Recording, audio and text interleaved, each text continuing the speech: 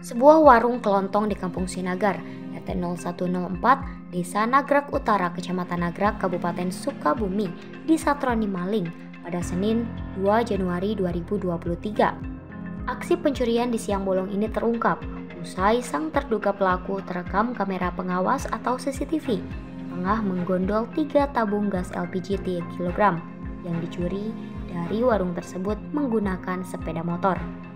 Pemilik warung, Putri, 29 tahun, mengatakan peristiwa ini terjadi sekira pukul 13.30 WIB saat dirinya tengah menonton televisi di dalam rumah.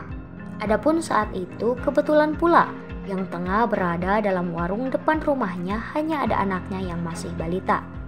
Putri kemudian baru menyadari warungnya telah disatroni maling saat tiga buah tabung LPG 3 kg yang biasanya terletak di sebelah freezer es krim mendadak raib.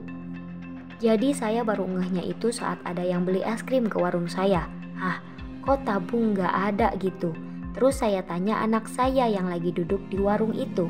Dek, tadi ada yang beli gas? Iya, katanya ada. Bapak-bapak naik motor. Katanya gitu.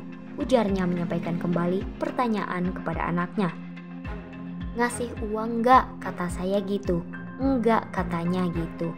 Kata Ade, uangnya masukin aja ke laci, kata dia. Memang saya dengan tetangga di sini kan udah pada dekat. Maksudnya, kalau saya sibuk dan ada yang mau beli, sering bilang, simpan aja uangnya di laci. Jadi mungkin anak saya ngikut apa yang sering saya omongin kalau ada yang beli. Sambungnya. Seketika Putri pun panik 20 menit kemudian, ia berinisiatif meminta izin kepada tetangganya untuk melihat rekaman CCTV. Karena dirinya penasaran, ingin mengetahui siapa yang nekat berbuat maling di warungnya.